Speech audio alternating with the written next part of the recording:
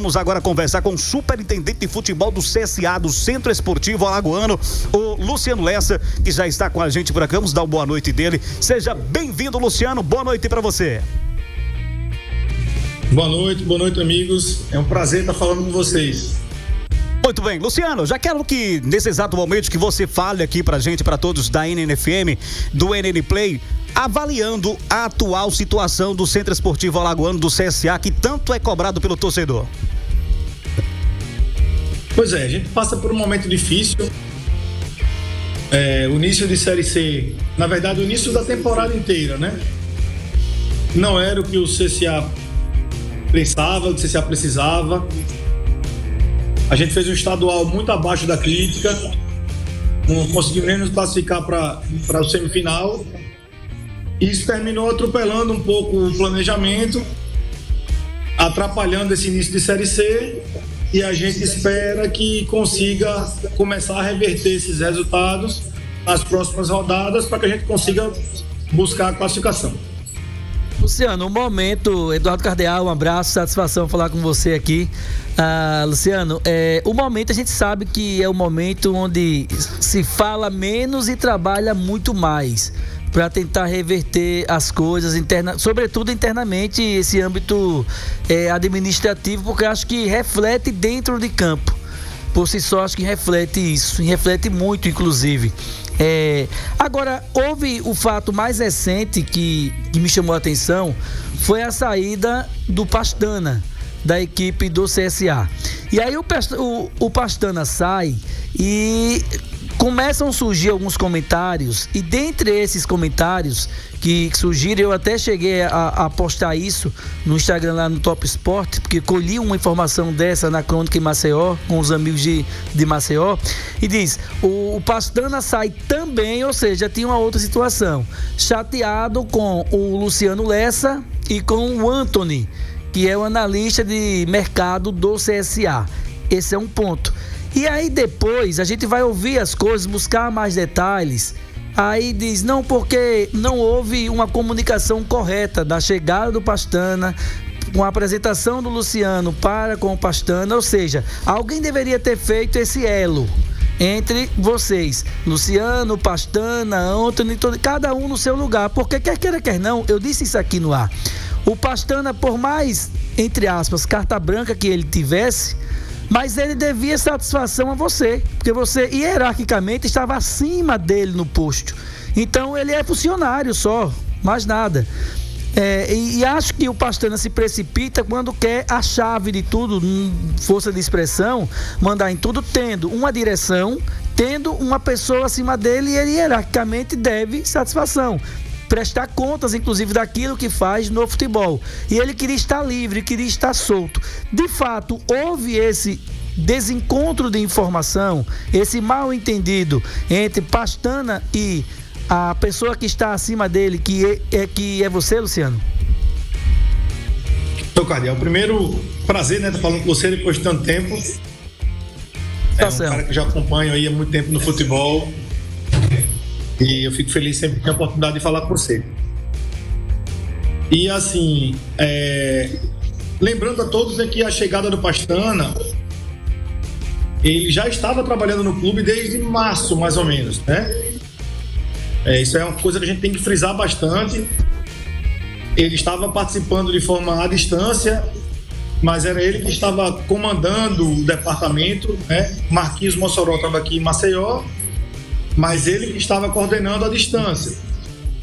Então, todas as contratações que houveram ali durante e depois da Copa Lagoas, no início da Série C, eles já vieram avalizadas e, e balizadas e assinadas por ele.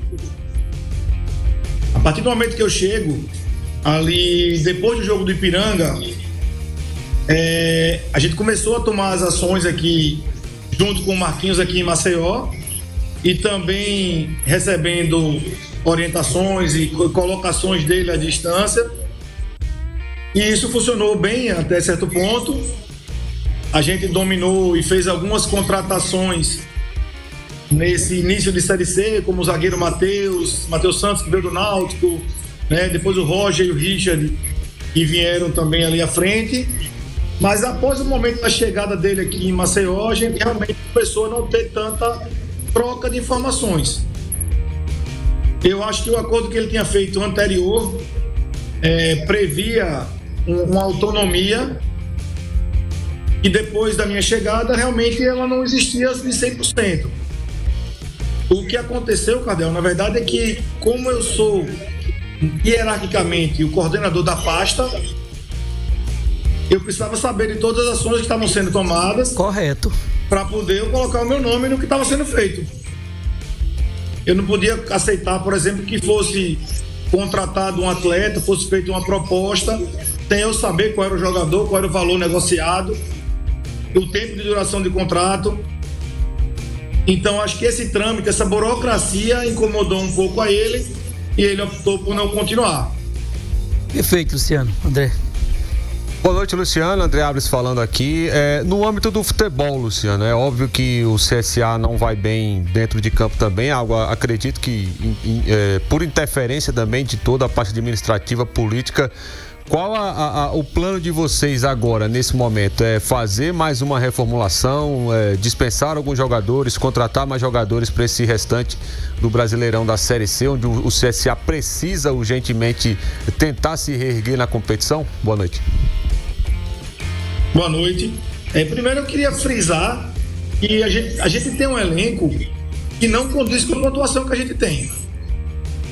Tá? A, gente, a gente concorda que há carências e a gente vai ao mercado, logicamente, para buscar jogadores mais qualificados para determinadas posições.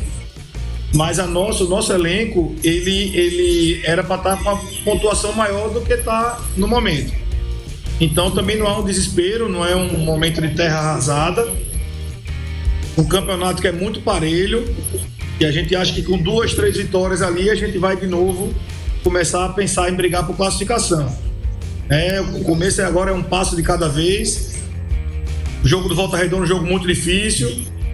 Depois a gente volta para casa e vamos ter duas partidas em sequência nos nossos domínios para aí sim começar a pensar em coisas maiores. Luciano, boa noite. Clevano Henrique aqui falando. Primeiro, satisfação poder conversar com o amigo. E a pergunta que faço ainda é no âmbito administrativo, Luciano. Essa, esse, esse, esse monte de renúncia aí, primeiro Rafael Tenório, depois a questão da, da, da, da presidente, né, que agora está aí, assumiu a presidência. É, teve, pelo que a gente teve de conhecimento, dentro do próprio conselho, da diretoria, de alguns que ah, estavam ali na à frente quando o Rafael Tenor ainda era presidente, que não concordaram muito com essa chegada, com a, com, com a, a Miriam assumindo essa presidência. E essa semana já houve a renúncia também do presidente do Conselho Deliberativo. A partir de tudo isso, o que é que vocês estão trabalhando no âmbito administrativo para contornar toda essa situação e o CSA realmente ter aquilo que tem na sua, na sua, na sua bandeira, no seu brasão, né? União e força. O que, é que falta, Luciano, para o time do CSA nesse sentido? Boa noite. É, realmente o CSA vive um momento turbulento. Né? Acho que eu não lembro de outro momento do clube onde a gente teve uma, uma renúncia de presidente durante o campeonato e uma briga ali de poder, né? A Miriam foi muito corajosa e ela tem muitos méritos por ter mantido a, o mandato dela ali, assumido o poder do clube. Ao mesmo tempo, a gente houve uma renúncia do Conselho Deliberativo também do presidente do Conselho. Mas hoje a gente tem uma diretoria sólida, né? Eu gostaria de citar alguns nomes como o doutor Marcelo Bravo, o próprio Rodas, né? Beto Barreiros, são colegas conselheiros que se juntaram nessa diretoria executiva junto com a presidente Píria. E hoje a gente tem um, um, um, time fora de campo também sólido. Lógico que essas, essas confusões que vêm desde o começo do ano, eles refletem também no clube. Né? A gente passou por troca de executivos, troca de diretor de futebol, troca de gerente. Nós vamos para o quarto treinador da temporada. Então, realmente, a gente sabe que isso causa a falta de resultado dentro do campo. Agora, eu acredito que com tudo ficando mais calmo, o departamento de futebol sendo novamente estruturado, agora com a chegada do Jadson, se somando ao Marquinhos Mossoró que está lá, também o próprio executivo de futebol que vai ser anunciado na próxima segunda-feira. É, agora a gente fez esse departamento, dá uma segurança maior à comissão técnica, consequentemente aos atletas, qualificando esse elenco, tenho certeza que a gente volta aí às vitórias. Terlan. Cumprimentar aí o Lessa depois de muitos anos, né, tendo essa oportunidade. Um abraço, Luciano, para você certo? E de antemão, eu já desejo que você tenha muito equilíbrio no comando aí do CSA, no departamento que é tão observado. E eu gostaria que você falasse, diante de uma situação aqui muito clara e direta para o público que acompanha a NN, quais foram os efeitos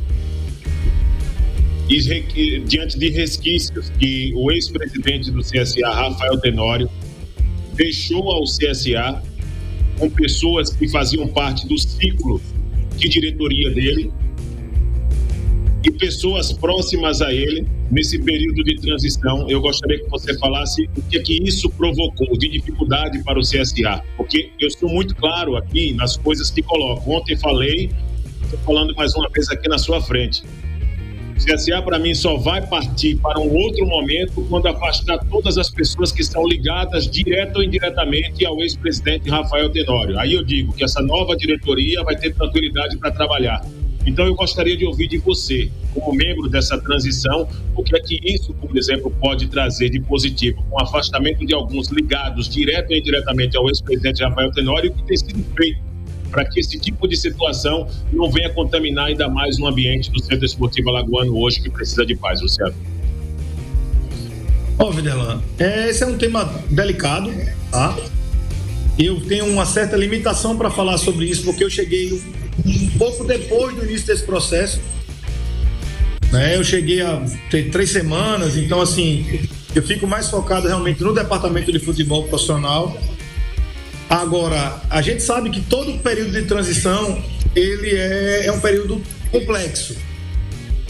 Tem, existem pessoas e profissionais que vão se adequar a essa, a essa transição e mudança de comando e tem pessoas que realmente vão ter o perfil de estarem ligados à gestão antiga e aí eu sou 100% concordo com você aí na situação de que quem não se adequar ao novo modelo de gestão da presidente Miriam, quem não realmente tiver é, o pensamento único em beneficiar o clube, primeiramente, aí essa pessoa deve ser afastada realmente do, do convívio direto da gente ali. Muito bem, Alan Jones. Luciano, boa noite. Primeiramente desejando, né, satisfação em falar com você novamente, reencontrá-lo, né? Luciano, é o seguinte, a gente tem percebido aí nos bastidores, né, que essa parte política do CSA deu uma acalmada, isso tem sido muito importante, né, a gente comemora muito esse momento político do clube, mas o que eu queria falar com você, basicamente, é sobre essa questão de futebol. O Pastana, antes de sair, disse que o clube buscava muito jogadores para o meio campo, mais um volante, mais um meio campo, com a saída dele agora e a chegada, essa, existe essa possibilidade da chegada do Carlos Bonatelli, né? É até um nome que surpreende. É um cara que estava ali fazendo um trabalho no Paraná, um trabalho de reestruturação. Como é que vocês estão observando essas carências na equipe? É, essa sua conversa com o novo executivo, quais são as posições que vocês enxergam ali junto com o técnico? Eu acho que até vocês acertaram o nome do técnico, conseguiram trazer um bom técnico para um momento difícil do CSA. Como é que vocês enxergam essas carências? No meio, é no meio campo? É no ataque? É na defesa? E como é que você é, tem lidado com essa dificuldade do clube? A fase ruim tem interferido na negociação com jogadores? De repente, jogador, você enxerga um jogador de qualidade no mercado, mas o cara não quer vir pelo momento ruim do CSA. Tem sido um trabalho de persuasão, de convencimento dessas novas contratações que vêm para o CSA? Meu amigo Alan, prazer de novo, né? A gente tá batendo esse papo. É, e realmente, Alan, primeiro, acho que todo o processo do acompanhamento à distância do ex-executivo, depois o problema a, que houve na, na chegada dele aqui, isso terminou atrasando um pouco esse processo de contratação e reformulação do elenco. É, a gente há de convir que essa reformulação já deveria ter acontecido imediatamente após a Copa Lagoas. Jogadores já deviam estar contratados e apresentados para começar a Série C já de uma forma diferente.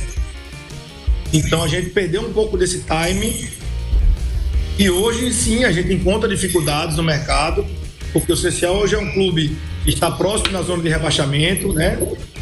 E a gente sabe que o calendário da Série C ela tem uma particularidade. A primeira fase ela termina um pouco mais cedo. Então, assim, hoje, por exemplo, se a gente contar e só a participação na primeira fase, só são mais três meses de, de competição. Quem se classificar, e a gente vai brigar para isso, fique bem claro, é, tem mais dois meses de competição. Então, um atleta que está empregado, está bem empregado num clube de Série B, por exemplo, que hoje é o nosso alvo, ele pesa muito a questão do tempo de contrato. Então, a gente está tá tendo que ser bem criativo, buscar soluções e formas de incentivar esse atleta a vir para o CCA, a, a, lutar com a gente agora nessa Série C. E a gente tá, tá sabendo que o mercado, o mercado gosta do CCA. O CCA tem uma camisa forte, é uma vitrine pesada, é um time de massa. Então a gente tem usado essas armas para convencer os atletas e eu acredito que até a, o, o, início da próxima semana ali a gente vai estar tá anunciando aí pelo menos dois, os dois reforços. Ô, Tony, quero só parabenizar o Luciano para finalizar da minha parte. Luciano, parabéns pela contratação do Jadson Oliveira. O Jadson é amigo meu, pessoal, inclusive. Conheço o Jadson desde garoto. É, rodou muito no futebol de Santa Catarina, de Minas Gerais, no Boa Esporte, entre outros clubes também. Enfim, é um cara que realmente é, tá se dando bem no futebol e tem uma visão muito ampla. E foi um dos principais responsáveis do CSA nesse acesso da Série D para C e até, de certa forma, trabalhou depois em um outro projeto no CSA. Então, assim, eu parabenizo vocês pela contratação do Jadson e eu não tenho dúvidas que o trabalho que o Jadson fez lá atrás, em 2015, 2016, no CSA, no acesso da D para C, e outros trabalhos que ele vem fazendo aí a nível sul e sudeste do país, ele vai fazer com muito mais ênfase agora, porque está muito mais experiente. Eu não tenho dúvidas que já começou a dar certo, Luciano. É, e ele foi meu treinador, inclusive, no Aliança, né? Exatamente, exatamente. A gente, a gente trabalhou junto, a gente já tem essa experiência, é um cara que eu mantenho um contato constante. E quando a gente fez o convite a ele, é, quando falou em CSA, ele inclusive estava empregado, né? Ele estava lá no Grêmio Prudente, lá em São Paulo, tanto que ele vai encontrar a gente já lá em Volta Redonda então, é, é, foi um cara que veio, está muito animado e muito empolgado. Tenho certeza que vai ajudar muito a gente aí. Muito bem, Luciano, muito obrigado por sua participação aqui no programa Futebol Show. Sempre seja bem-vindo, o microfone vai estar sempre aberto. Muito obrigado, boa noite para você, Luciano, e boa sorte aí com a Eu... equipe do CSA. Uma vitória, viu? Espaço, é sempre um prazer estar falando com os amigos. Torcer para que já na segunda-feira a gente consiga essa primeira vitória para que a gente volte para Maceió aí para uma sequência de dois jogos e colocar o CSA num, num novo momento na competição. Muito bem, valeu, tá aí pra você o grande Luciano Lessa, participando com a gente aqui. Valeu, um abraço pra você, Luciano, superintendente do CSA do Centro Esportivo Alagoano. 20